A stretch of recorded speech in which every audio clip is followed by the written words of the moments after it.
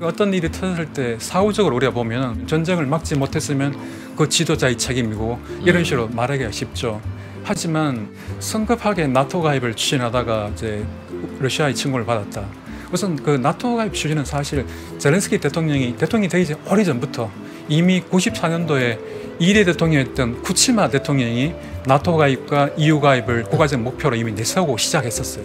젤렌스키 대통령 시절에 사실 성급하게 추진한 것은 결코 아닙니다. 우크라이나는 동맹이었기 때문에 유사시에 만약에 어떤 나라가 침공해 왔을 때 지켜줄 동맹이 없는 거죠.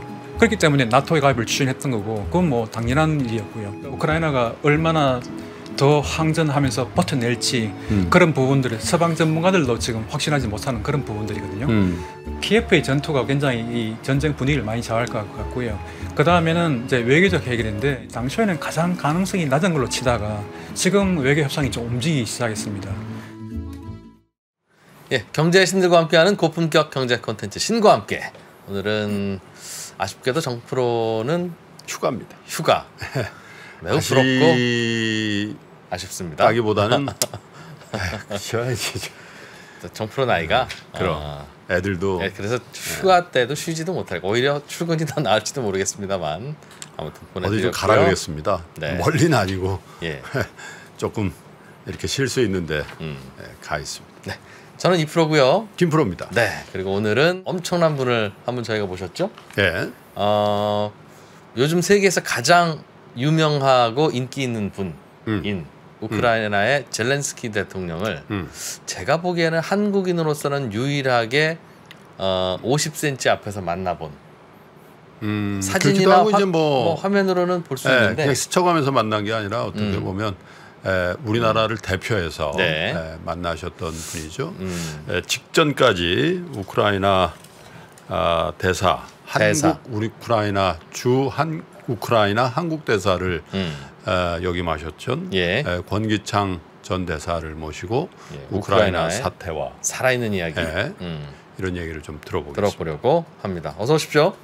안녕하세요. 안녕하세요, 네. 네. 네, 반갑습니다. 저 음. 공기창입니다. 예. 이렇게 아주 인기 있는 프로에 초청해 주셔서 어, 감사합니다. 아유 별 말씀요. 네. 나와주셔서 감사드리죠. 고맙습니다. 예. 우크라이나 대사로는 언제부터 언제까지 계셨어요? 최근이라고 들었는데. 네, 저는 2019년 5월에 이제 우크라이나 대사로 부임을 했었고요. 음, 아, 그로부터 제가 작년 6월에 들어왔으니까 한 예. 2년 1개월 정도 근무를 했었습니다. 음. 작년 6월까지. 네. 어, 이전부터 우크라이나에 관심이 있으셨습니까? 아니면 대개는 대사로 갈 때는 발령받기 직전에야 알게 됩니까? 아, 저는 사실 우크라이나에 그 전부터 관심이 많이 있었습니다. 음, 보통 일반 분들은 잘 모르시지만 우크라이나는 이제 외교가에서 보면은 유럽에서 있는 나라 중에 굉장히 그 뜨거운 감자 같은 음, 그런 국제적으로 그러니까 외교관들이 관심을 가지는 네. 또 러시아 옆에서 항상 분쟁의 소지가 있고 그다음에 아. 그 전에 유로마이단 혁명으로 통해서 크림반도 병합되고 유럽의 대통령들 정상들이 만나면 툭하면 우크라이나 사태에 대해서 협의하고 예. 그러니까 뉴스에 보면 항상 우크라이나에 관한 문제들이 아주 뭐 영국의 더 이코노미스트라든가 뉴욕 타임즈나 이런 데 보면은 아주 자주 나오거든요. 그래서 관심을 가질 수밖에 없는 그런 음. 그런 이슈였습니다. 그러니까 외교관들이 이제 대사로도 그렇고 이제 그 밑에 이제 에, 뭐 대사가 아닌 외교관들도 이제 많이 이제 네. 그 나라에 가서 근무를 하시는데 음.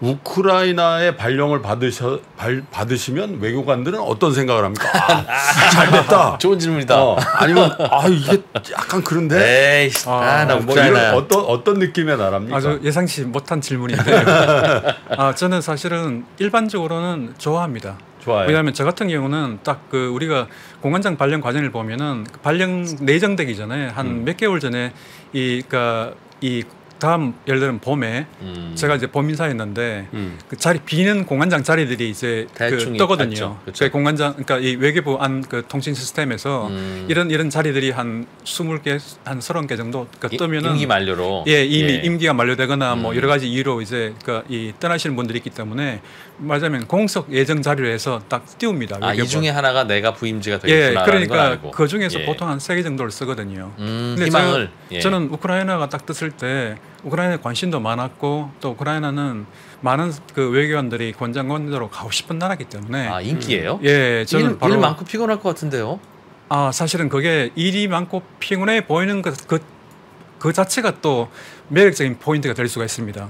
예를 들어 아주 살기가 좋고 아무런 이슈가 되지 않는 나라는 예. 그게는 좀, 좀 뭐랄까 외교관으로서 공간적으로 일할 때 활력 있게 일하기가 좀 힘들거든요. 그렇죠. 수도 없- 음, 수가 예, 그러니까요. 이 유럽에서 우크라이나 그러면 항상 뜨거운 여러 가지 국제 정치적 음. 면에서 뜨거운 나라이기 때문에 음. 우크라이나에서 이렇게 뭔가를 하고 보고를 하고 사람들 만나는 것은 음. 일종의 뭐랄까 유럽에 있는 이슈들 중에 하나의 중심적인 이슈를 다루게 되는 아. 그런 음. 의미가 지니거든요. 현안이 있는 현안이 있어서? 있는 네. 예 그런 나라이기 때문에 권기창 대사님처럼 약간 일 좋아하시는 분들만 그렇게 좋아하는 거 아니에요? 아이 다 좋아하죠. 아, 왜, 예. 왜, 왜, 근데 뭐 왜. 그런 제가 말씀드리는 그런 성향은 외교관들을 대체로 좀 있어, 가지고 있어요. 있습니다. 아 근데 음. 저도 이제 해외 생활을 하다 보니까 대사님들이 주재하는 어떤 교민 모임이라든지 음, 음. 몇번 가봤거든요. 네. 근데 이렇게 얘기를 들어보니까 그 대사님들의 현안이 뭐냐면 아 정상 외교가 가능한 음. 나라인가 음. 이걸 많이 보시더군요. 그러니까 네, 에, 대사로 재임 중에 예. 네. 그 나라 국가 원수가 대한민국을 방문하든가 아니면 우리나라 대통령이 그 나라를 에, 뭐 국빈이든 아니면 외교 업무든 방문할 수 음. 있는 네. 음, 일이 가능성. 있던가 예. 그래야 이제 이게 뭐 현안도 막 일이 많고 뭐 그렇습니다. 이래서 예, 예, 예. 근데 음. 아무리 그 노력을 해도 안 되는 나라들이 있거든. 음. 네. 거기를 왜 갑니까? 그, 그 나라 대통령이 한국에 와도 뭐 큰 의미가 없는 나라들이 있단 말이에요. 음. 그런 나라들은 아까 이제 대사님 말씀하셨듯이 음. 아무리 거기가 편하고 평화로워도 네. 대사님의 입장에서는 아 그래요? 별로 이렇게 그 근로, 네. 근무의 의욕이 음. 예. 많아지지 않은 그런 네. 그런 말씀이시죠? 네, 그렇습니다. 지금 말씀하시는 것보다 사실은 공관장들이 어떤 나라를 선택해서 지원할 때 네. 하나의 그 고려 사항입니다. 사실 네. 그것도 음. 왜냐하면 우리나라 대통령께서 오시는 것도 물론 큰 의미가 있고 네. 그렇게 되면 그 나라가 하고 현안이 됐던 많은 이슈들이 해결됩니다. 네. 보통 실무자들끼리 또는 공관장이 장관 만나서 또 아무리 얘기해도 중요한 이슈면 결정을 못 내리는 그런 사안도 아. 정상끼리는 뭔가 해결을 짚고 가거든요. 네. 사실 그러려고 만난 거니까. 예, 그러려고 음. 만난 거니까. 음. 그걸 만나고 또 그렇게 되면 또 만약에 제가 있는 나라가 개도국이었다면 음. 지원을 필요하는 개도국이었다면 그러겠죠. 우리 정상이 또 하나의 선물로 주겠죠. 또 주게 됩니다. 네. 음. 그런 식으로 이루어진 거죠. 그래서 아, 제가. 우크라이나 전에 있던 콩고 민주공화국에서 제가 첫 대사를 했는데 음. 거기서 우리 그때 과거에 MB 이명박 대통령하고 카빌라 대통령하고 음. 정상회담한 결과로 우리가 어, 카빌라 대통령이 우리 대통령께 국립박물관이 제대로 없다. 그걸 좀 지어달라 콩고에? 해가지고 예, 콩고에. 아. 그래서 결과적으로 그게 지어졌고 제가 있는 동안에 대부분 지어졌고 제 후임 대사 시대 때 이제 개관식을 했거든요. 아, 그게 그렇군요. 2천만 불짜리였는데 아. 아프리카에서 우리 그 단, 무상 원조 우리나라 ODA 무상 원조로서는 가장 큰 무상 원조 사업이었습니다. 아. 그럼 그때 당시 카빌라 대통령이 한국에 서울에 네, 방문하셔가지고 방문도 예 했, 했었죠. 아, 정상회담. 타결된 거군요. 예, 예, 음. 그렇습니다.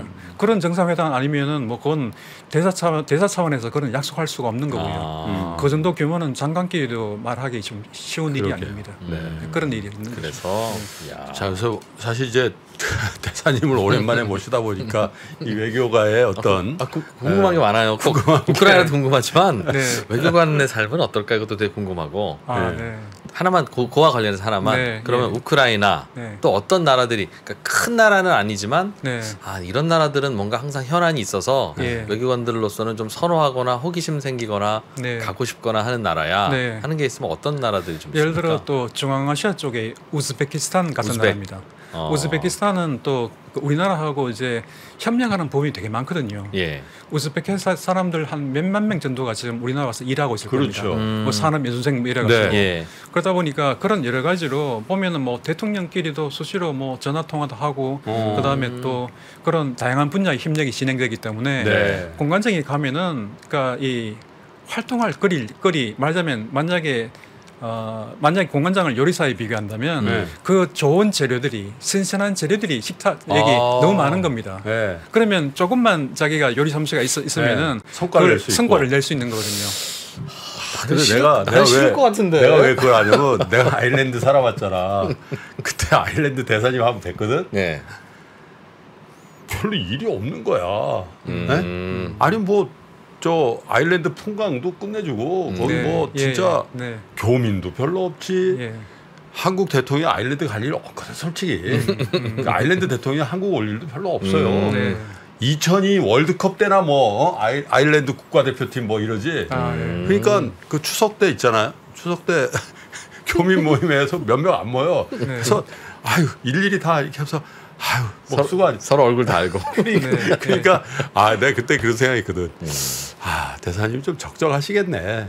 네. 물론 이제 뭐 예. 속, 속사정은 모릅니다만은 예. 이제 그런 차이가 좀 있을 거다. 예. 아, 근데 일이 많으면 특히 좋군요. 보면 제 친구들이나 제 주변 사람들, 저는 일반 일반인들 시가 있어 보면 좀 음. 어떤 생각을 하시냐면 좀 잘 사는 선진국에 가면은 일이 그 많고. 나라 어떻든 간에 그러면은 아 발령을 잘 받아간다 생각하고 네. 좀 소득이 좀 낮은 지역에 가면 음. 좀더 험지라 생각하고 뭐 일반 개도국 가면은 음. 그 발령을 좀 못 받아간다고 그렇게 생각하시는 그러니까 것 평소에. 일좀 네. 열심히 하지 근데 왜 사실은 이게 그렇지 않고요. 네.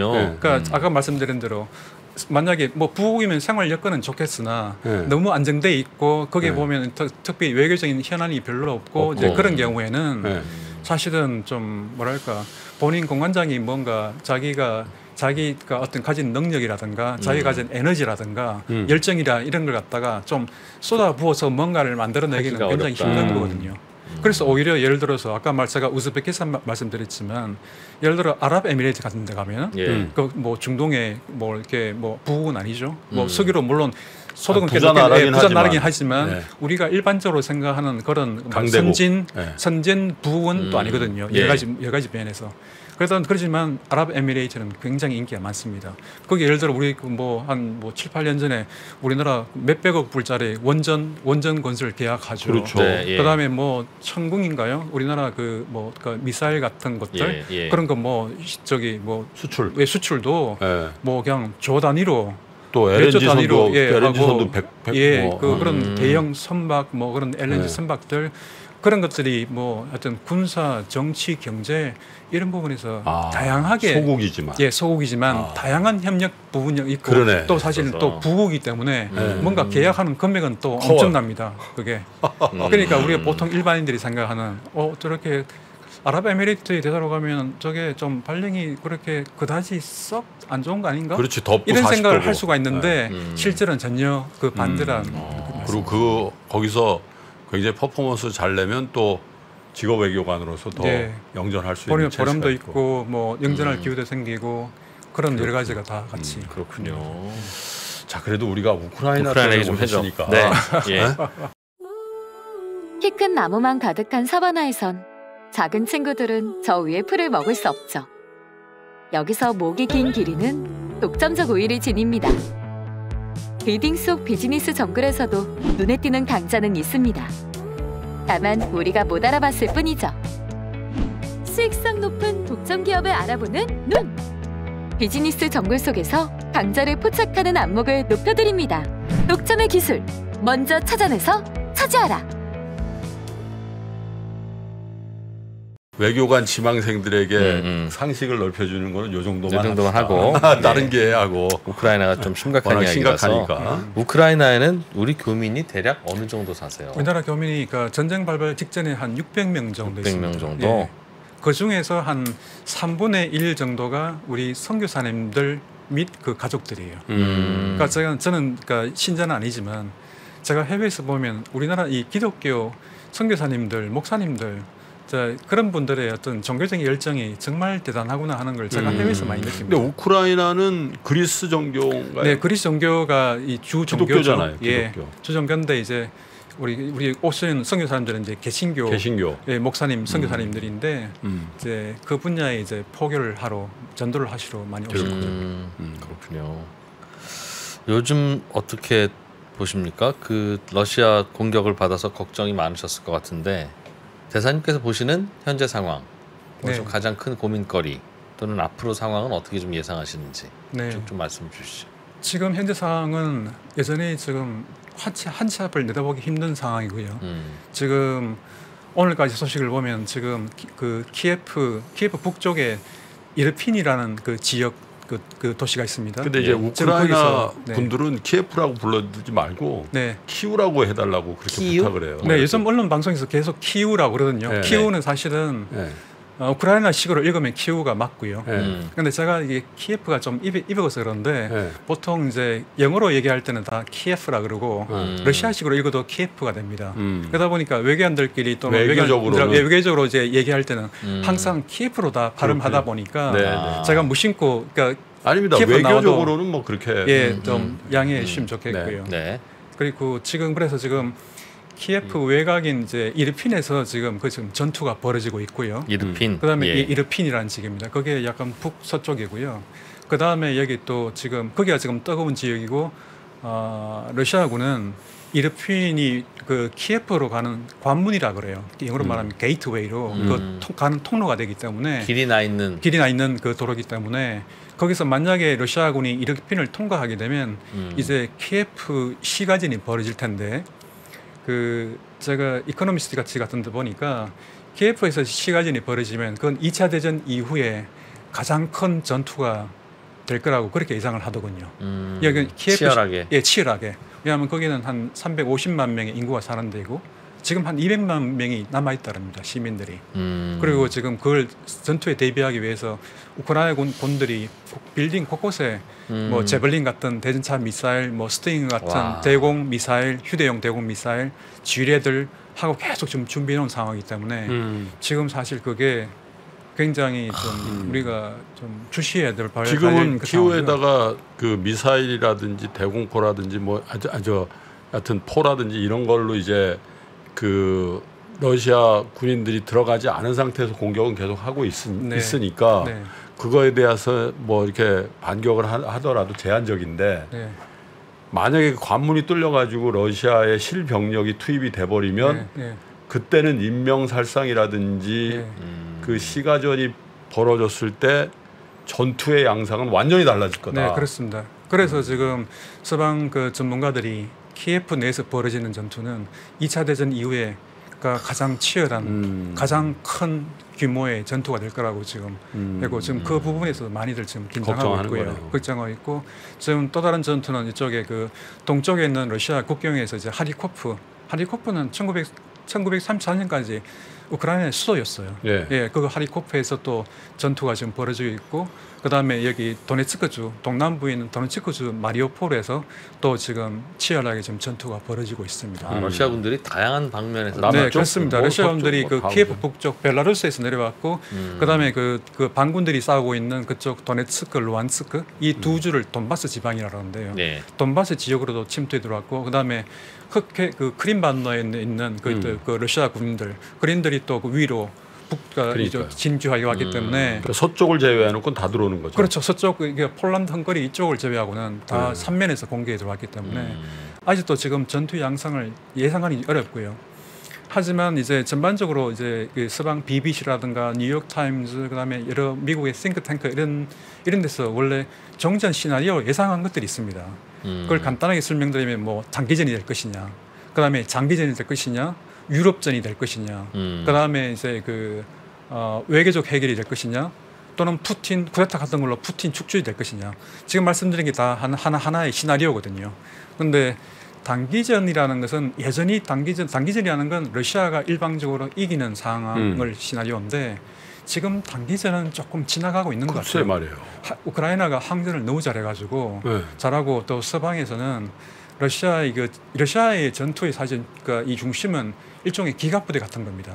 탱크. 우크라이나하고 러시아가 다 평원이기 때문에 음. 거기서 가장 유리한 전략은 기갑부대, 탱크, 전차, 뭐 장갑차 이런 걸로 밀어 밀고 들어오는 거였거든요. 음, 음. 그런데 그런 그런 작전으로 들어왔는데 우크라이나가 러시아 허를 찌는 게 같이 기갑부대로 맞서지 않고 기갑 우크라이나 기갑부대는 되게 약하니까요.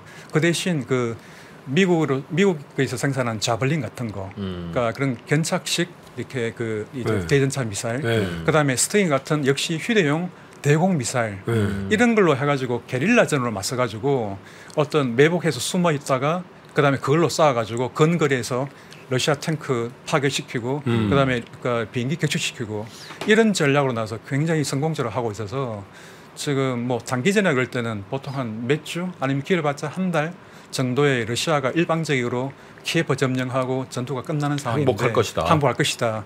그걸 푸틴은 그렇게 생각했던 것 같아요. 음. 그런데 지금 의외로 어, 우크라이나가 항전을 잘해줘가지고 음. 그런 지금 단기전이라고 할 수 있는 상황은 조금 아직도 조금 조심스럽긴 하지만 네. 조금 지켜 특히 키예프가 어떻게 될지 지켜봐야 되지만 좀 그거는 조금 지나가는 거 아닌가. 근데 뭐 보도가 정확한지 는 모르겠는데 얼핏 보니까 뭐 러시아 군인들이 뭐 7천 명이 죽었다라는 네. 이런 게 네. 나오잖아요. 예. 그리고 네. 러시아 그 군사 장비 보니까 야, 이걸 갖고 어떻게 하냐 뭐 이런 얘기들도 예. 나오고 네. 네. 그래서 러시아의 어떤 군사력의 민낯을 봤다. 네. 뭐 이렇게 보도들도 나오고 있어서 네. 뭐 앞날을 어떻게 예측하기는 힘들지만 에, 예상 밖의 어떤 전과들 네. 에, 우크라이나 정규군의 어떤 그 예상 밖의 전과가 들어왔는데 그 왜 대사님께 이걸 여쭙냐면 그 나라에서 이렇게 살고 그 정부의 이 관료들이나 이런 사람들을 만나 보시면 네. 나라의 분위기를 알잖아요. 네. 장비가 아무리 뛰어나도 아유 쟤들 저 전쟁 나면 다 도망갈 애들이야 네. 이렇게 판단을 할 수도 있고 네. 반대로 열악해도 야 저건 그렇지 않을 걸 한번 음. 달려들면 쟤네들 무섭지 음. 이런 건 느낄 수 있단 말이죠. 네. 음. 어떻게 느끼셨어요? 현, 저는- 현, 현장에 계실 때. 예, 그 제가 제가 이게 특히- 특히 키예프에서 또는 이제 다른 지방에서 우크라이나 관리들을 뭐 지사를 이렇게 만나 보면 네. 러시아에 대한 감정이 정말 안 좋구나 하는 걸 느낄 수 있어요. 어허. 음. 그러니까 러시아가 우리 같은 생각하면 뭐 사실 과거에 키예프 공국 시절에 비해서 네. 키예프 공국에서 그 모스크바 공국 이런 것들이 다, 다 갈라져 나와서 원래. 러시아, 우크라이나, 벨라루스는 사실상 한 민족이에요. 네. 그렇기 때문에 형제 국가라고 생각할 것 같은데 아니더라고요. 네. 그 사람들이 영어로 표현하면 enemy라고 그래요. enemy. 그냥 적이라는 거예요. 적. 음. 그건 특히 크림반도 유로마이단 혁명 일어나고 그다음에 그 거기에 그, 그 화난 푸틴이 군대를 보내서 크림반도를 병합해 버렸고 그다음에 돈바스에서 또그 그 반군을 음. 지원해 가지고 우크라이나 정부하고 전쟁을 시작했었거든요. 그러니까 그런 인상으로 어, 우크라이나 국민들 사이는 감정이 너무 안 좋기 때문에 음. 그렇게 적이라 생각하고 그다음에 유로 마이단 혁명을 다룬 다큐멘터리 이거 보면은 그 Winter on Fire라는 게 제목이 있습니다. 불타는 겨울이라는 제목으로 그걸 보면 그 사람들이 자유 얼마나 자유민주주의를 위해서 정말 목숨을 걸고 시위를 하고 싸우는지 그걸 생생히 볼 수 있거든요. 음. 저는 그걸 보면은 야 우크라이나 사람들이 정말 이 자기 자유민주주의, 자기 조국을 지켜서 싸우겠다는 그 용기 또는 그 불굴의 정신이 정말 대단하다고 느낍니다.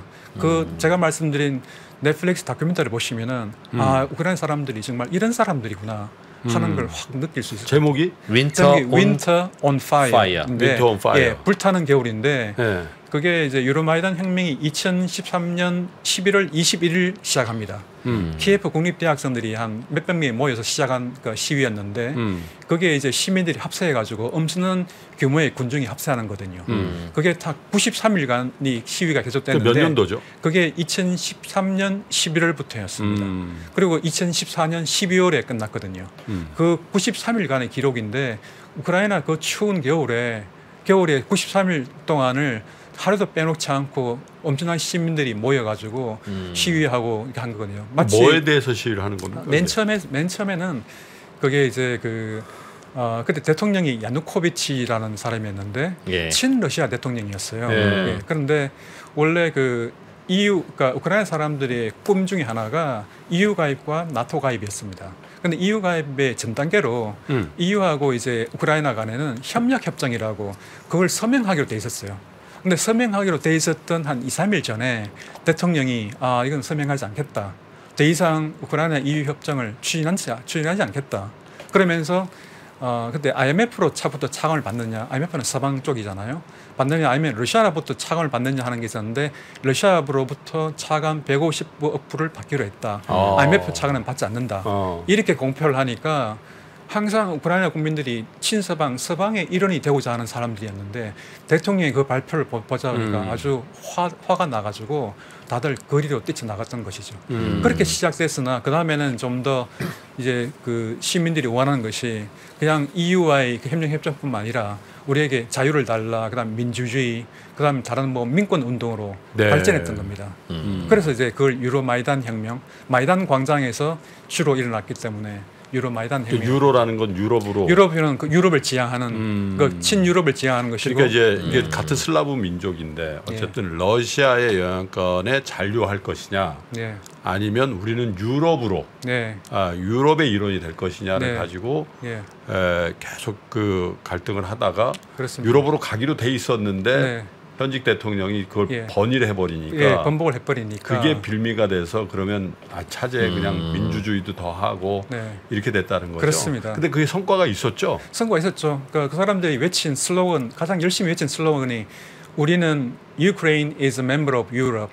그 음. 한국말로 하면은 우리말로 하면은 그 우크- 우크라이나는 서방의 유럽의 일원이다. 음. 그것은 러시아는 유럽이 사실 유럽 지리적으로 유럽이긴 하지만 음. 심리적으로 유럽이라 생각하지는 않거든요. 음. 그냥 러시아는 독단적으로 있는 나라고 러시아죠. 러시아고 네. 나머지는 유럽이거든요. 그러니까 우리는 유럽의 일원이라는 게 러시아하고 가까이 지내지 않- 말고 음. 서방의 일원이 되고 싶, 우리는 되겠다. 그렇죠. 그 뜻을 표현한 것이죠.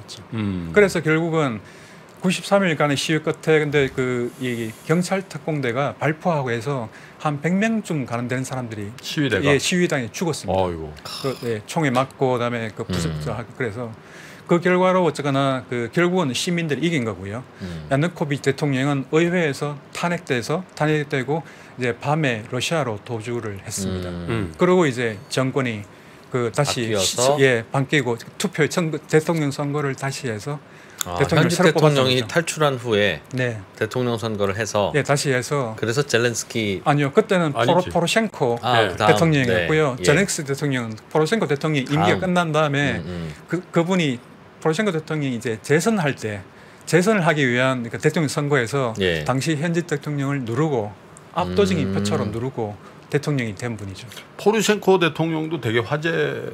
예, 예. 포로셴코 대통령도 사실은 반 러시아적인 입장으로 정책으로 좀 유명한 분이고요. 그랬겠죠, 당연히. 예. 그분 시절에 사실은 그 나토 가입과 EU 가입을 그 헌법을 개정해서 네. 음. 거기다가 명문화시켰던 것입니다. 음. 예. 그리고 그분은 또 굉장히 유명한 그 동유럽에서 가장 최대 초콜릿 공장을 초콜릿 사업체를 운영하고 있는 분으로 또 유명하죠. 아 원래 음. 기업가였어요. 예, 그분이 어. 사실은 우리가 말 보통 올리가르히라고 그러잖아요. 음, 음. 음. 맞아요. 과도 재벌. 동북권 그분이 재벌. 그런 예. 과도 재벌 중에 한 분이라고 볼수 근데 있습니다. 과도 재벌이라는 건 어차피 푸틴하고 다 친해야 되고 뭐 그런 그런 네. 백그라운드를 가지고 또 예, 돈을 그렇죠. 모으고 했는데 어떻게 네. 그렇게 변신을 했을까요? 아, 그분은 뭐 하여튼 뭐 그분은 오- 오래, 오랫동안 사업하신 분인데 네. 우크라이나에서 이제 사업하면서 큰 사업을 하면서 우리가 보통 올리가이리라 그러면은 이제 그런 과도 재벌이 이제 정치인들하고 또 결탁해가지고 음. 어떤 정책 결정을 본인 사업에 유리한 결정을 또 이끌어내고 음. 말하자면 말하자면 우리말로 하면 어떤 강한 정경 유착 같은 게 되죠. 그렇죠. 정경 유착에 대해서 정치인들한테는 뇌물로 돈을 주고 음. 그 다음에 본인들한테는 이권을 받고. 이권을 받고 음. 이제 그런 그런 사람들 우리가 통칭해서 올리가르히라 부리니까요. 음. 그런 그런 분이 한 분 중이었습니다. 그런데도 인기가 있었나 봐요. 당시 예, 그런데도 그. 그분이 이제 반 음. 러시아 기치를 좀 들고. 해서 굉장히 또 당시 음. 대통령이 될, 될 때는 또 굉장히 인기가 많았죠. 그분이 재선을 못한 이유는 뭐예요? 그분은 그 부패 혐의를 좀 많이 받고 있었어요. 그래서 지금 예, 제렌스키 대통령 시절에도 계속 뭐 하여튼 그 혐의가 한 많습니다. 거의 한 10개 가까이 되는 음. 된 혐의로 네. 뭐 하여튼 재판도 받고 막 그랬었어요. 아 그래서 음. 박 대통령이 바뀌었군요. 그래서 실각을 하고 네, 그 음. 실각을 하고 젤렌스키 예. 현직 대통령이 그렇죠. 됐죠. 부패에 물들지 않은 신선한 정치인 그게 제렌스키가 이제 권 대사님이 그 부임하기 직전이었지 않습니까? 그렇습니다. 네. 예. 예. 그분이 그러니까 4월에 대- 결선 투표에서 이긴 것이 2019년 4월이었고 예. 5월에 취임했었거든요. 음. 제가 5월에 그 같은 달에 거기 부임을 했으니까. 아니 그 젤렌스키 대통령 그 취임 후 1호 신임장 제정 아니에요? 네, 그렇습니다. 네. 그러니까 제가 그 들었거든. 어 음. 대통령 젤렌스키 되고 처음 만난 외국 대사가 권기창 대사님. 네, 아, 그렇습니다. 대사님은 막 부임하고 네. 네, 젤렌스키도 나- 저도 저- 막 대통령 됐어요. 네. 반가워요. 네.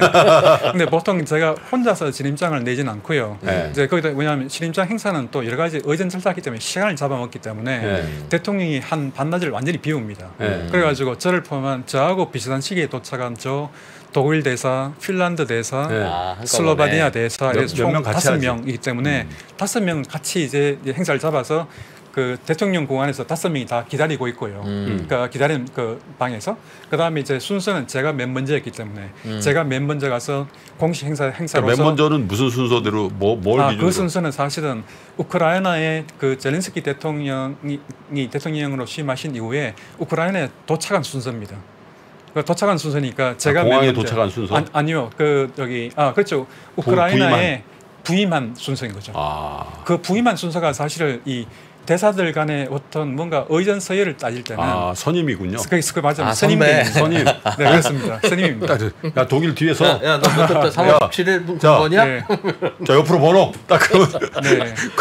공기장 공기장 대사부터 독일 대사 핀란드 대사 하나 둘 셋. 군대랑 똑같네. 이그 아 이전에 막판은 저 번호 하지 말래니까 그런 거지. 네, 그런 겁니다. 오. 왜냐하면 이 다양한 그 공- 해외 대사들을 포함해서 대통령, 총리, 장관들 다양한 행사들이 있거든요. 그러면 음. 그 좌석 배치라 이런 것들이 그러네, 다 그런 그러네. 의전 아, 서열에 군번 따라서 순서대로. 하기 때문에 아. 자 그런 게 좀 필요한 거죠. 2000 몇 년이셨어요, 그게? 이게 2019년 2019년 5월 군번이셨고. 5월이었고 이제 그다음에 제가 저하고 그 다른 총 다섯 명 대사, 대사들이 실임장을 제렌스키 대통령께 이제 제출한 게 그게 7월이었습니다. 그러니까 음. 한두 달 정도 후였으니까 보통 음. 한두 달 정도 기다렸다 내는 기다렸다가 그렇죠. 한꺼번에. 일반적입니다. 그래서 이제 그때 이제 취임 우리로 치면 이제 대통령 당선되고 네. 그죠? 네, 우리도 지금 인수위원회 활동을 하고 있잖아요. 네, 네, 예, 이제 취임식 네. 하려고 음. 네, 그런 과정을 거친 자마자 대통령이 취임한 젤렌스키 대통령을 예. 만났는데 그렇죠. 네. 그때 당시에 우크라이나 국민들에게 젤렌스키 대통령은 어떤 정도의 위상이었습니까? 그때는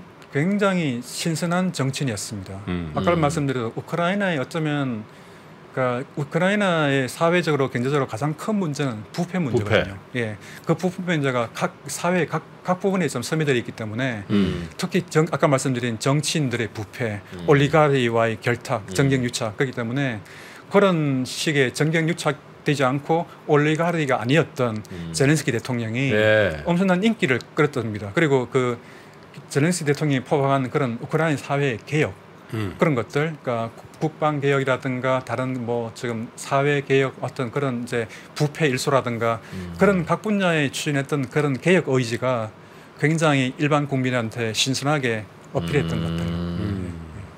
근데 이제 우, 우리는 이제 사실 그 젤렌스키 대통령을 잘 몰라서 음. 얼마 전까지만 해도 아, 그 뭐 사실 정치 경험도 없고 네. 또 직업이 이제 에, 일종의 이제 연예인, 음. 에, 그것도 이제 연예인 중에서도 희극을 음. 주로 한 분이니까 그걸 희화화하는 예들이 네. 많았어요. 네. 그거 잘못된 거죠. 네, 근데 이제 또 어떤 측면에서 보면 야, 노련한 정치인도 아니고 음. 또 엄청나게 뭐 이 관료로서 성장한 것도 아니고 그러니까 경험이 좀 미숙할 것이다. 라는 생각은 또 할 수 있을 것 같단 네, 말이에요. 네, 예. 실제로 우리 대사님께서 보셨을 때 젤렌스키 대통령은 어떤 그 정치적인 자산을 가지고 대통령이 됐고 또 대통령으로서 음. 활동한 게 지금 2022년이니까 음. 2020년, 2021년, 2022년까지 거의 3년이 다 됐잖아요. 네, 네. 국민들에게 어떤 평가를 네. 했습니까? 그 우선 제가 개인적으로 느낀 젤렌스키 대통령은 제가 이제 신임장을 낸 후에 한 30분을 사실 그런 신임장 행사 때 30분 대통령 30분 얘기하는 건 사실 굉장히 긴 거였습니다. 아주 이례적인 거고요. 그래서 그분하고 이제 대화를 좀 나누고 제가 지- 느껴본 것은 음. 그분은 우선 첫 번째 두뇌가 되게 아주 우수한 분이고 아, 저하고 면담할 때 면담 자료도 없이 네 가지 그, 그 대사님하고 협의하고 싶은 게 네 가지 있습니다. 아. 라고 말씀하시면서 아, 바로 함께 예 바로 네 가지를 네, 네 얘기하셨다. 가지 하려고 딱 네? 가지를 말씀하시면서 한 가지 네. 한 가지를 아주 논지 뚜렷하게 그 정확하게 말씀하시더라고요. 음. 우선 그 우선 첫 번째 굉장히 인상을 제가 깊은 인상을 받았고 그 다음에 어떤 그 일국의 대통령이 그 이 다섯 명의 대사를 만나면서 그걸 갖다가 그냥 그냥 면담 자료를 보면서 읽을 읽어도 되는데 음, 그냥 음. 그걸 자기 머릿속에 숙지해서 그 직접 자기 본인 구두로 왜냐하면 이 어떤 걸 읽는 것보다 면담할 때좀 본인 구두로 그 대사의 눈을 보면서 설명한다는 것은 훨씬 더 굉장히 다 그 안다는 거죠. 숙지한다는 거거든요. 그만큼 그것도 성실하다는 얘기입니다. 희극인들이 그리고 머리가 좋은 분들이에요. 그러신가요? 어, 그- 네. 원래 그 직업 자체가 네. 머리 나쁘면 못하는 직업입니다. 네, 음. 정말 네. 그런 것 같아요. 그런 성실함이 있고 그다음에 음. 사실은 저하고 서로 이제 처음 공신장에서 만나보면 좀 어색할 수 있거든요. 음. 좀 그래서 그런데 그분은 뭐 그냥 저하고 하여튼 이한 한 2주 전에 만났다가 지금 다시 또 보는 사람처럼 어. 굉장히 편안하게. 격이 없이 편안하고 음. 소탈한 그런 인상이 받았고요. 음. 그다음에 그 이후에도 뭐 여러 번 이제 외국 대사들하고 이제 젤렌스키 대통령하고 뭐 오찬 같은 자리라든가 또는 음. 다른 식으로 뭐 여러 번 있었습니다. 그런데 보면은 굉장히 그 뭐랄까 어떤 사람들 편안하게 대하면서 사람들 끄는 아주 음, 매력적인 예 정치인이었어요. 그래서 음. 다들 거 있는 외국 공관장들, 외국 대사들도 다들 평이 음. 예, 좋고. 평이 아주 좋은 그런 스키. 스킨십에 강한 치- 예, 음, 그렇죠. 다만 이제 그분이 이제 몇 년이 되다 보니까 국민들의 기대는 굉장히 컸고 음. 그다음에 각 분야의 그 부패라든가 그런 그런 문제를 이제 해결하는 일소하는 그런 문제가 그게 사실 하루 아침에 가는 건 아니거든요. 음. 우리나라 경우 봐도 우리도 몇십 년이 걸쳐서 노력한 끝에 이제 좀 사회가 훨씬 더 좀 깨끗해진 그런 편인데 아, 사실 몇 년 만에 그렇게 큰 성과를 거두기 쉽지는 않을 겁니다. 좀 그런 것들이 이제 국민이 기대했던 것에 비해서 음. 좀 개혁의 속도가 느리다 보니까 지지율이 좀 그 그때에 비해서는 근데 이제 이 러시아 침공 전에 젤렌스키 대통령의 지지율은 그렇게 좋지 않더군요. 그때 예, 지지율은 예 그때 많이 좀 떨어져 있는 떨어져 있는, 있는. 있는, 있는 상태였죠. 그때. 그러다가 이제 러시아가 침공을 한 이후에 네, 에, 어떤 전시 체제에서 네, 리더십을 강력한 리더십을 보여주면서 네. 지금 뭐 엄청난 지지를 받고 있는 거죠. 그렇습니다. 지금은 뭐 지지율 지율이 90%가 넘는다 그러죠. 그러니까요. 예. 뭐 당연히 또 뭐 전시에는 음.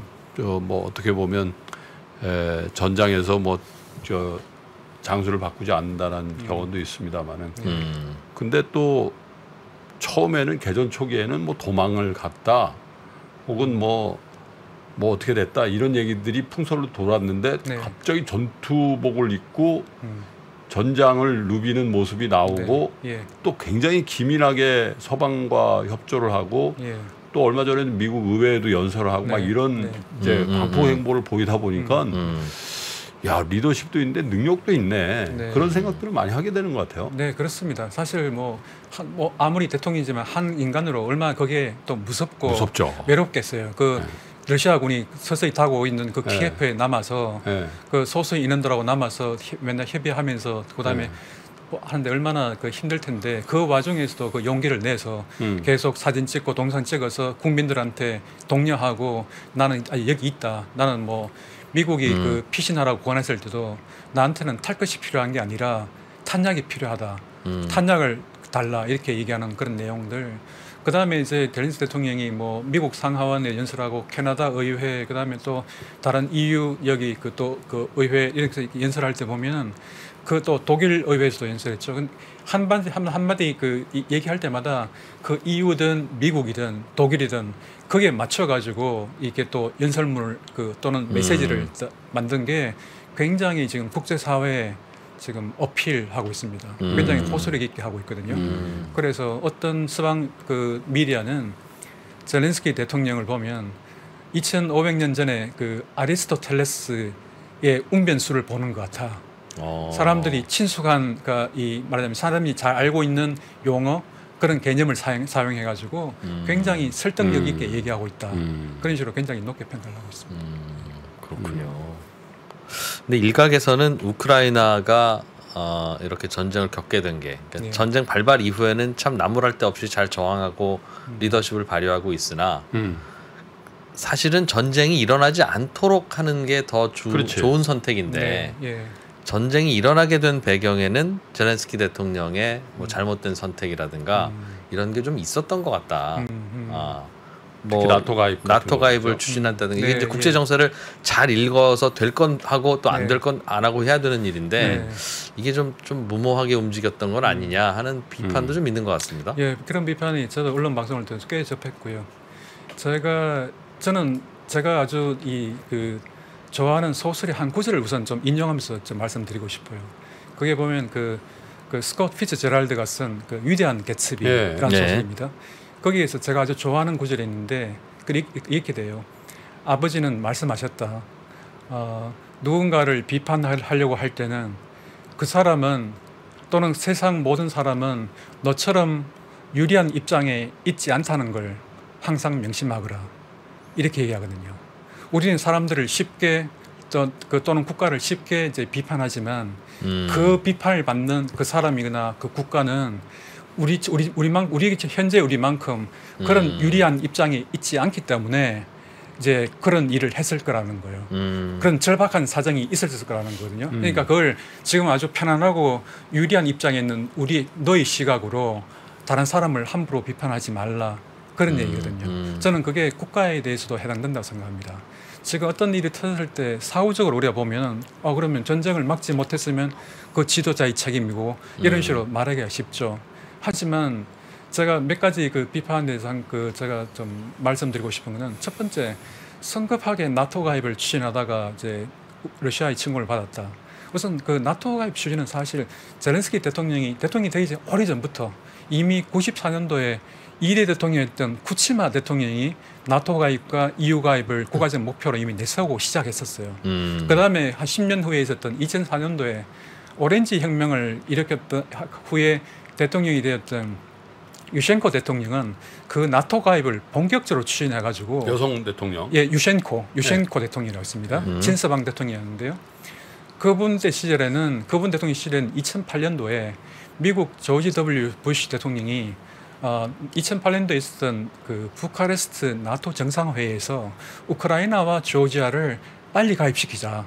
그걸 빨리 가입시키기 위한 로드맵을 만들자. 음. 이렇게까지 그러니까 말하자면 그러니까 열심히 그러니까 이 밀어붙였는데 당시 이제 프랑스 대통령과 이제 독일 총리가 강하게 만류해가지고 음. 결국 그냥 가입시킨다는 약속만 하고 나중에 어떤 절차를 거쳐서 언제 가입시킬지는 나중에 그 훗날 결정하는 걸로 그렇게 음. 됐었거든요. 네. 사실 그렇게 된 거기 때문에 젤렌스키 대통령 시절에 사실 성급하게 추진한 것은 결코 아닙니다. 계속 동- 해오던 거한 거다. 예, 해오던 걸 계속 왜냐하면 우크라이나는 동맹이었기 때문에 유사시에 만약에 어떤 나라가 러시아든 어떤 나라가 침공해 왔을 때 지켜줄 동맹이 없는 거죠. 그렇기 때문에 나토에 가입을 추진했던 거고 그건 뭐 당연한 일이었고요. 그 다음에 또 이제 뭐 서방 나토의 군사적 지원을 너무 기대했다거나 근데 그건 사실은 미국은 그 전쟁 발발 전에 우크라이나에다가 사실 군사 지원을 많이 했었어요. 그 크림반도가 러시아에 병합됐을 때부터 그 음. 이후로 매년 미국이 지원한 군사적 지원 규모는 한 5억 불 전후로 음. 그때부터 매년 해왔기 때문에 사실 우크라이나가 나토 회원국도 아닌데 미국이 그 정도 하는 건 이례적으로 굉장히 많이 한 거라 그러거든요. 음. 그러니까 그런 식으로 이제 해왔고 해왔기 때문에 우크라이나가 뭐 나토의 지원을 막 확 믿었다 그건 아닙니다.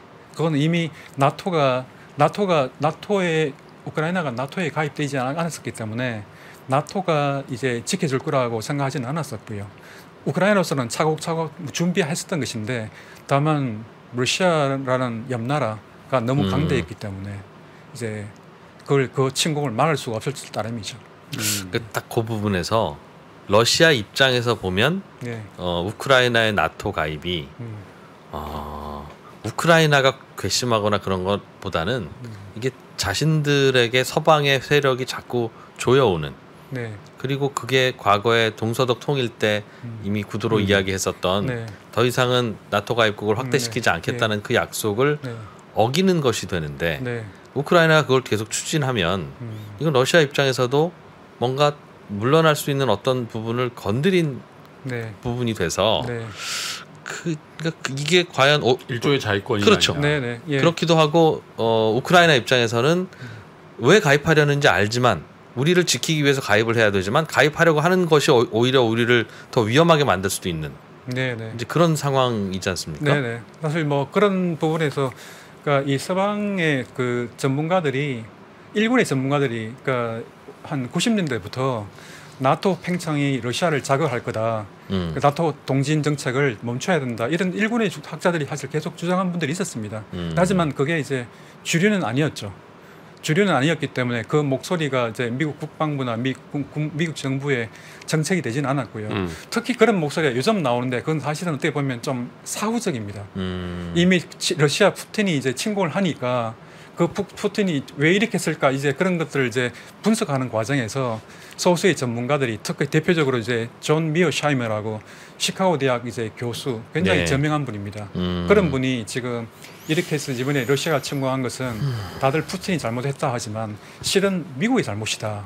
미국이 그때부터 동진하지 말았어야 했고 음, 음. 크림반도 했을 때 이미 러시아로부터 신호를 읽었어야 했다. 음. 멈췄어야 했다 이렇게 그렇게 말하는 분들이 있는데 뭐 그분들의 그분의 말 말에 동조하지 않는 분들이 아마 좀 더 많을 뭐 겁니다. 역사적으로 뭐 한국 전쟁의 기원에 대해서도 네, 음. 여러 가지 학문적인 견해들을 에, 다른 방향으로 내는 학자들이 예. 있죠. 네, 근데 네. 그건 이제 예. 뭐 에, 역사가 이제 또 어떻게 평가할지 또 네. 향후에 이제 전쟁의 상황이 음. 어떻게 진행이 될지에 네. 따라서도 좀 영향을 받을 것 같긴 한데 네, 네.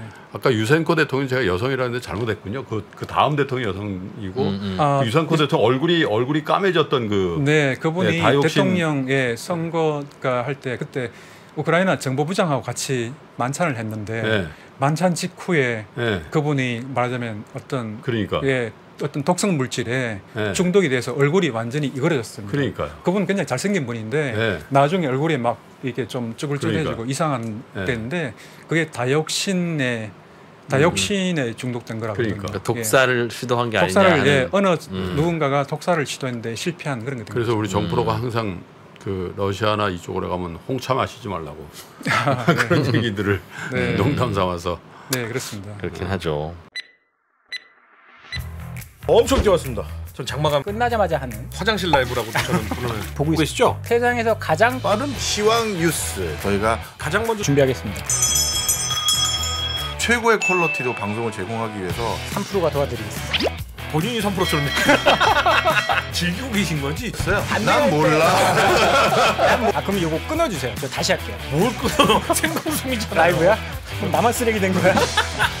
월요일부터 일요일까지 그냥 다 봐주세요. 매일매일 오후 3시 반 클로즈맨 라이브입니다.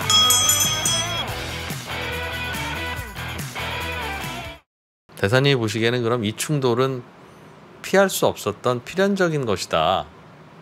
아, 라고 생각을 하시는 쪽이신가 보군요. 그건 사실은 뭐 어떤 나라가 저는 좀 이렇게 생각 하나의 좀 우리가 좀 쉬운 예를 들면 우리가 어떤 여성한테 새벽에 그 한적한 길을 가, 가지 말라고 계속 조언했다고 쳐요. 음. 그러면 새벽에 한적한 길을 그래도 불구하고 지- 그 일이 늦게 끝나고 이제 집에 가야 했었기 음, 때문에 음. 얼째 없이 없이 한 새벽 1시에 야근하고 퇴근했다고 치면 그럼 거기다가. 강도를 만났으면 그러면 그 강도 그러면 강도의 책임인가요? 음. 그 늦게 귀가해서 어쩔 수 없이 집에 늦게 귀가한 그 여성의 책임인가요? 저는 좀 그러니까 미어 샤이머 교수님 말하는 것을 음, 음. 이렇게 하면서 이렇게 그걸 밤길에 밤길에 가지 말았을 그, 그 여성에게 네가 음. 밤길에 가지 말아서 했다. 그- 그래서 네 잘못이다. 이렇게 얘기하는 거하고 좀 비슷하다고 생각합니다. 근데 그 각 나라는 그 음. 나라 고유한 어쩔 수 없는 사정이 있거든요.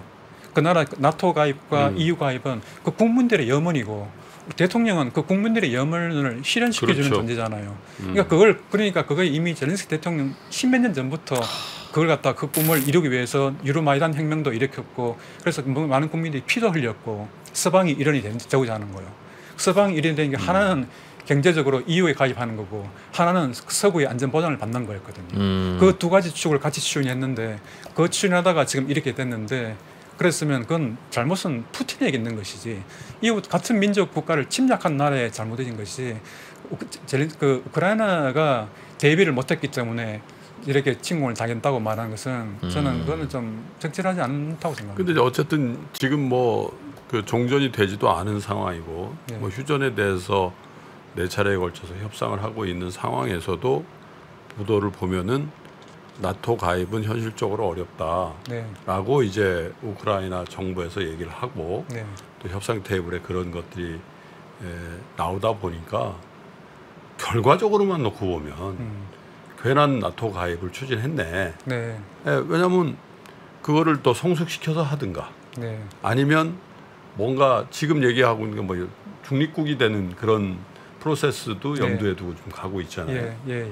그래서 에, 외교 정책이라는 게 어찌 보면 에, 국민의 염원도 염원이나 음, 에, 정말 정확한 아저 그 국가의 그 어떻게 보면 정당성이 있는 리더십이라면 에, 그럼에도 불구하고 구- 국민의 안위 에, 또 전쟁을 방지해야 된다는 어떤 에, 그런 입장에서는 에, 그런 얘기들을 또 할 수 있지 네, 않겠나라는 뭐 생각도 예, 듭니다. 그런 얘기를 뭐 얼마든지 어쨌거나 결과가 결국은 침공을 받은 것이니까 침공을 받으려면 미리 좀 예방할 물론 이제 러시아를 않았을까. 비난해야죠. 예, 어떤 그런 예, 어떤 명분에도. 불구하고 음. 그렇게 말할 수 있으면 좀 이게 어떻게 보면 좀 국제 정치의 좀 비극이라 할 수 있습니다. 음, 사실 그 2차 대전 이후에 이렇게 이 푸틴처럼 이웃 나라를 그것도 같은 민족이라고 음. 하는 가는 이웃 형제 같은 국가를 무력으로 침공해서 러시아의 세력권을 만들기 위해서 말하자면 그런 어떤 정치 외교적인 목적을 위해서 음.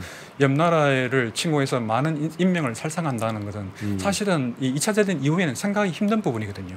그러다 보니까 많은 사람들이 푸틴이 그렇게까지 할 거라고는 사실 예상을 못했고 음. 사실은 서방에서도 미국 포함해 서방에서도 전쟁 일어나기 직전까지 그러니까 러시아가 벨라루스하고 군사 훈련하기 하면서 이상한 막에 좀 침공하는 듯한 목숨을 보이 전까지는 침공할 거라고는 예상하지 못했던 거죠. 음. 예. 서방의 대응이 예상보다 미온적인 것은 예. 혹시 아닙니까? 어, 저는 그렇게 생각하지는 않고요. 지금 서방에서는 정말 EU, 이 나토 국가들, EU 국가들, 그다음에 미국은 최대한 지원을 하려고 지금 하고 있는 것 같습니다. 음. 지금 어떤 나라가 침공을 받았을 때 세계 역사에서 이렇게 그 침략받은 나라가 전 세계가 합심해 가지고 우크라이나를 돕기 위해서 한 적이 있었나 싶어요. 우리나라는 어땠어요? 남한. 우리나라 있을 때6.25 때. 제발 때는 뭐 16개국이 참전했고 직접 참전을 했죠. 참전했죠. 네. 물론 그거는 이제 참전한다는 건 대단한 것이었지만 예. 그때는 이제 북한이라는 그 그때는 냉전 시기였기 때문에 음. 그렇기 때문에 좀더 말하자면 그 냉전 시기에서. 예 미국이 뭐 물론 유엔군이지만 사실 그 주로 미군이었으니까요 음. 유엔군이 그래서 미국이 다른 나라를 지켜야 된다는 그런 걸 확실하게 돼 있었던 돼 있었던 것 같고 그래서 근데 그 우크라이나 같은 경우는 아무래도 러시아가 직접 참전하는 그 러시아가 직접 침공한 거기 때문에 음. 자칫 군사로 개입하다는 지금 3차 대전이 일어날 수 있는 위험 사실은 그것 때문에 지금 미국과 그 다른 나토 회원국들이 참여 참여하지 못하는 거잖아요. 그래서 그런 부분에서는 좀 차이가 있는 것 같아요. 음. 러시 그 우크라이나의 어떤 그, 그 국가 경쟁력 특히 예. 이제 전쟁을 지금 거의 한 달째 하고 있지 않습니까? 음. 예. 에, 야, 저 나라가 그, 저희가 알기로는 뭐 정말 대기근이 와서 많은 사람들이 예? 아사한 네. 홀로도 비, 모르. 예, 그 비극을 갖고 있기도 하고 그리고 1인당 국민소득 보니까 3,000불 정도로 잡히고 있더군요. 네. 농업 농업 국가죠 농업 국가 네. 생각보다 농업 국가니까 뭐 싸우고 싶지 않을 줄그 알았는데. 국민소득이라는 게 뭐 확장할 수가 없는 그런 경제 구조를 음. 갖고 음. 어, 있죠. 근데 에, 권 대사님이 보시기에 앞으로 어떻게 될 것 같습니까? 그 저 러시아 물론 전쟁을 예측한다기보다 네. 이 우크라이나 사람들의 어떤 그 분위기나 뭐 이런 음. 것들이 이제 또 개인적으로 네트워크 있을 테니까 듣고 음. 또 보고 음. 계실 텐데. 네. 음. 우선 지금 앞으로의 좀, 예, 좀 어, 전쟁이 어떨 것 같은 그런 예상하는 측면에서는 지금 저, 저도 굉장히 자- 조심스럽습니다. 그 부분에 대해서는. 그러니까 음. 우크라이나가 얼마나 더 항전하면서 버텨낼지 음. 그런 부분들이 서방 전문가들도 지금 확신하지 못하는 그런 부분들이거든요. 음. 근데 어쨌거나 지금껏 우크라이나가 자리 좋고 지금 아주 그냥 단기전으로 보다는 좀 더 일단은 그 뭐 장기전 해봤자 뭐 5년 10년을 얘기하는 건 아니고요. 음. 예를 들면 최소한 몇 달은 몇 달. 버티고 예. 한 아니면 좀 6개월, 1년. 지금 우리가 많은 장기는 일단 그 정도 정도로 지금 얘기하는 건데요. 그 정도로 갈 수 있는 어떤 좀 그러니까 상황에 조금 좀 있지 않나 좀 싶고요. 저도 이제 확실하게 뭐 장기전으로 간다 그런 말씀은 아니고요. 지금 이제 그, 그 관건이 아마 키예프를 둘러싼 전투에, 전투에서 음. 그게 과연 단기전, 단기전 아니면 한 한달 이내에 끝나는 거. 네. 지금 이제 전쟁이 4주째 접어들었거든요. 그러니까 그 키예프의 전투가 굉장히 이 전쟁 분위기를 많이 좌우할 것 같고요. 그 다음에는 이제 외교적 해결인데 외교적 해결이 당초에는 가장 가능성이 낮은 걸로 치다가 지금 외교 협상이 좀 움직이기 시작했습니다.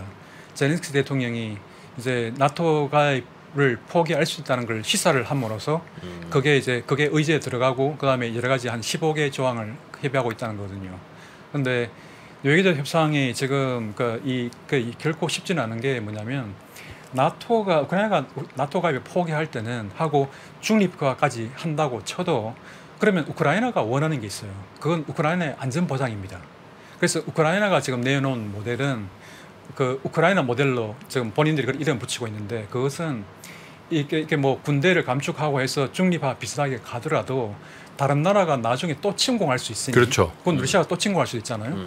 그럴 경우에 대비해서 안전 보장이 필요하다는 거고 음. 그래서 유엔 상임 이사국 5개국 플러스 독일, 터키가 같이 그 국제 평화군 같은 거로 해서 나중에 어떤 나라로부터 침공을 받을 때 군사적으로 지켜주는 거 그걸 음. 지켜달라 음. 그걸 지금 요구하고 있습니다. 그러니까 그 안전 보장 그걸 우크라이나 모델이라고 지금 이름 붙였는데 그 부분은 이 음. 굉장히 힘든 부분이 될 거예요. 그건 왜냐하면 나토 나토 그 그가 그 일곱 개 나라가 다들 러시아를 빼고는 다 나토 회원국들인데 사실상 준 나토죠. 예, 준 나토죠. 그러니까 음. 이게 뭐 비탄 비나토 모델로 부르긴 하지만 사실 나라 국가들은 다 나토 국가들이니까 음. 음. 30개 나토 국가들도 지켜지지 못하는데 더 선별된 소수의 나라들로 해가지고 우크라이나를 군사적으로 지켜준다는 건 그 나라들이 동의하기가 굉장히 힘든 부분이거든요. 그래서 이런 부분들이 아마 합의하기가 굉장히 어렵지 않을까. 합의가 음. 되려면 이 전쟁이 완전히 교착 상태에 빠져서 둘 다 두 양쪽 다 지쳐서 뭔가 협상 차결했던 의지가 강해지든지 음. 아니면 어느 일방이 일방적으로 빨리 승리를 해서 해가지고 어떤 거의 그냥 뭐 거의 굴복하다시피 한 문서에 조인하든지 그런 식으로 가야 아마 좀 언어가 좀 정리가 될 것 같아요. 근데 어쨌든 뭐 미국도 그렇고 러시아도 그렇고 초강대국인데 에, 비교적 그 국력이라든지 군사력이 훨씬 열이한 나라를 에, 침공해서 최근 들어 성사된 성공 승전한 적이 없어요. 네, 러시아도 그렇죠. 뭐 체첸 갔다가 뭐 네, 사실 개망신 당하고 네, 네. 한 거죠. 거기다가 아, 근데, 또 음, 아프가니스탄도 그렇죠. 네, 그저 미국도 아프가니스탄도 그렇지 뭐 그렇죠. 예. 그래서 에, 뭐 보기에 따라서 다르지만 아 강대국이 들어가면 무조건 이기고 뭐 항복 무서 받고 뭐 예전처럼 네. 그게 왜 이런 양상을 보일까 그 생각도 지금 들어요. 지금 하신 말씀이 사실은 맞는데 단 푸틴이 집권한 시기만 따지고 보면 음. 푸틴은 항상 전쟁에서. 이겼나요? 이겼거든요. 음. 음. 푸틴이 99년도에 그 옐친 대통령 시절에 총리가 된 게 99년이었는데 음. 그때 시작한 게 제2차 체첸 전쟁이었습니다. 음. 그때 1차 체첸 전쟁 때는 좀 허지부지 되고 이렇게 휴전했었는데 음. 그때 그 체첸 수도 그로즈니에 시가전 벌이다가 음. 많은 러시아 군들이 죽었어요. 그렇죠. 그래서 그걸 알고 있는 푸틴이 제 2차 체- 체첸 전쟁을 일으켰을 때는 아예 수도에 포격 포로 포격하고 비행기로 공습해서 완전히 그 수도를 초토화시킨 다음에 음. 러시아 군들이 들어와서 장악했거든요. 그래서 우선 첫 번째 체첸 전쟁을 승리로 이끌어서 그러면서 푸틴 인기가 무진 올라갔었습니다. 음. 음. 그 다음에 두 번째가 이제 그 조지아 전쟁이었죠. 음. 조지아가 이제 그뭐뭐 독립하려는 이제 그때 남 오세티아 가- 그 공화국 오세티아. 예, 오세티아를 갖다가 공격 먼저 공격했거든요. 조지아가. 음. 거기 친러시아 예, 지역이죠. 그, 예, 그 친러시아 지역입니다. 음. 그러다 보니까 그걸 보고 그, 그, 그, 그니까 남오세티아 주민들을 보호한다는 명목으로 푸틴이 군대를 보내고 역습해가지고 음. 그 러시아 군대들이 조지아 저기를 침공한 거예요. 그래서 5일 만에 전쟁을 끝냈습니다. 간단하게 그냥 뭐 조지아는 뭐 인구 한, 한 400만도 안 되는 작은 나라니까 음, 음. 쉽게 이겨버린 거죠. 그래서 그 이겼죠.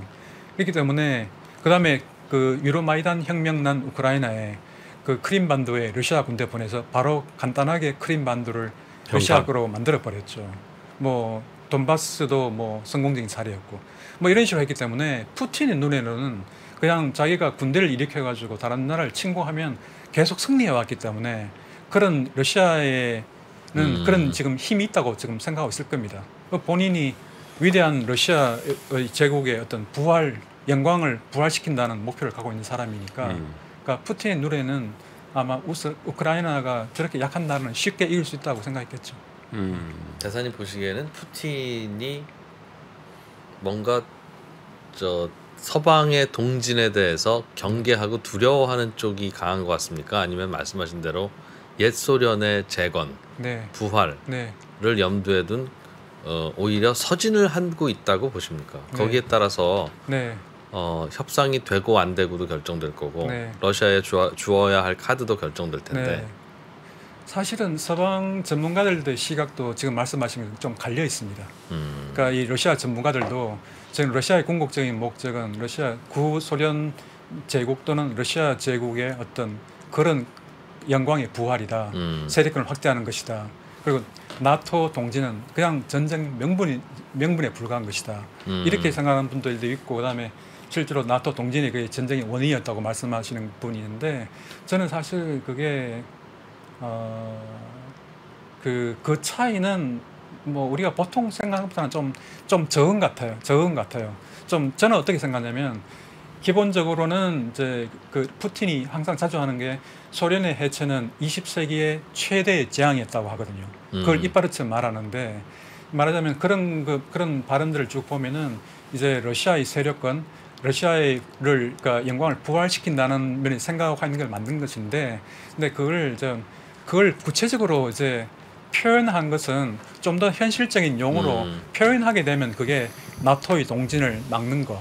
음, 그게 그 거다. 예, 저는 사실 그게 어떤 같은 음. 동전의 좀, 그 가마- 그좀그 다른. 면을 좀 예, 음. 보는 거 아닌가 싶어요. 음. 음. 일각에서는 우크라이나가 핵을 포기하지 말았어야 된다. 예. 네. 역사는 가정이 없으나 예. 또 한 번의 교훈을 얻었다. 네. 그리고 북한도 그걸 보고 도저히 핵 포기는 안 할 것이다. 네.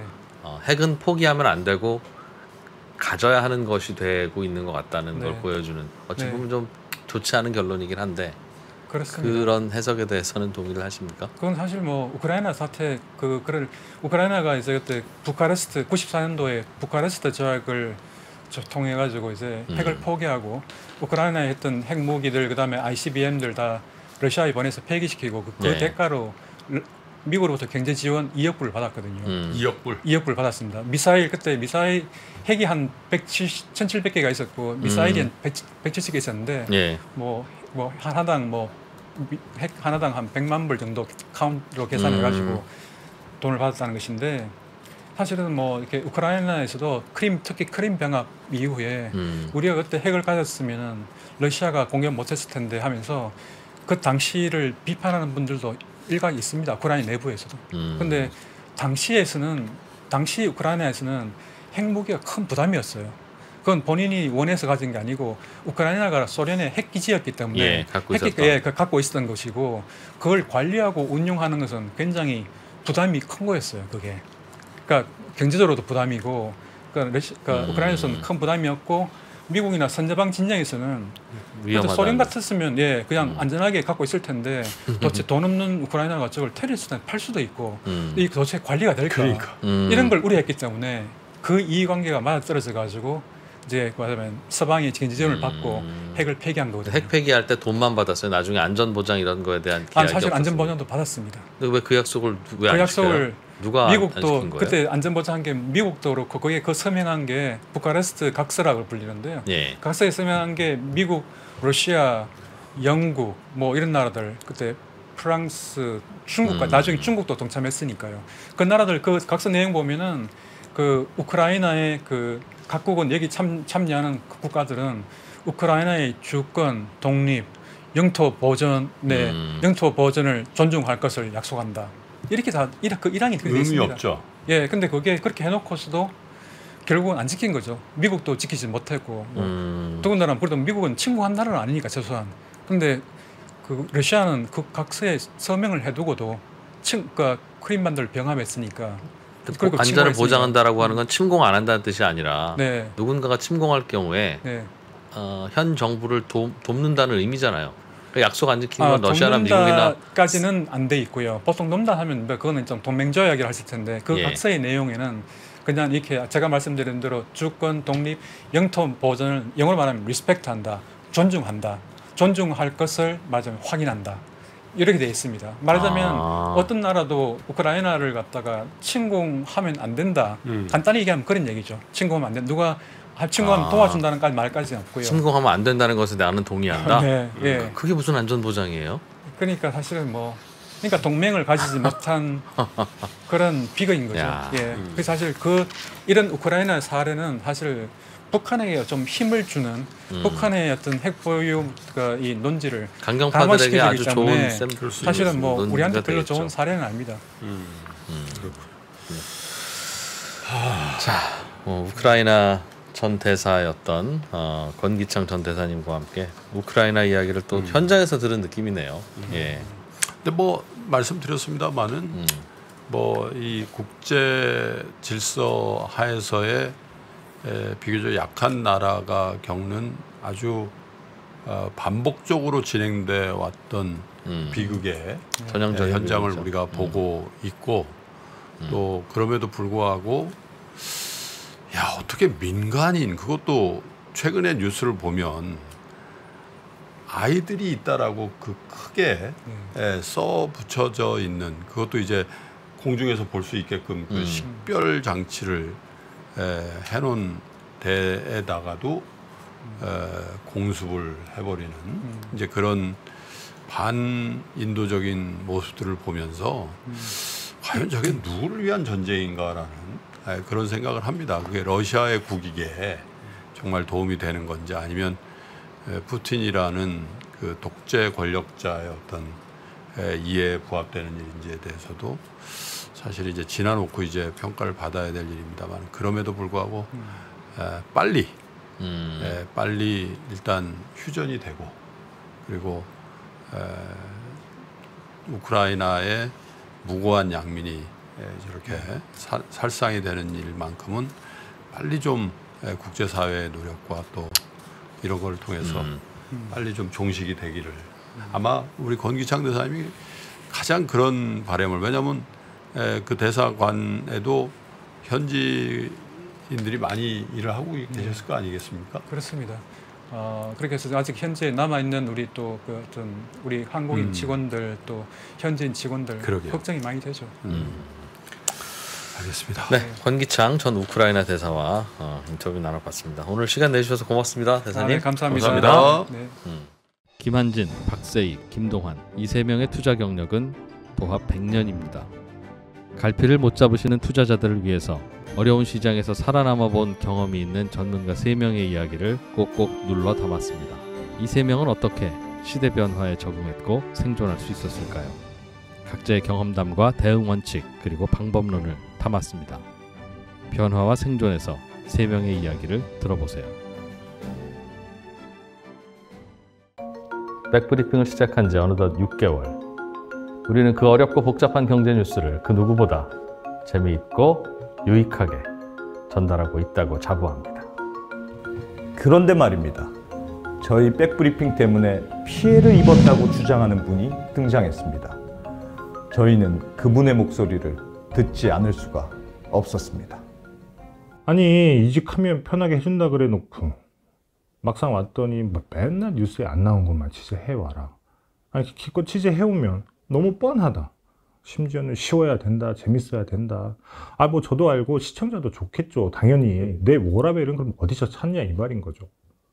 아니 뭐 이런 회사가 다 있나 싶기도 하고. 근데 이거 모자이크는 되고 있는 거죠 직원들의 원성이 이렇게 날로 커지고 있지만 백브리핑은 오직 구독자 여러분만 믿고 갑니다. 제발 좀 구독. 응?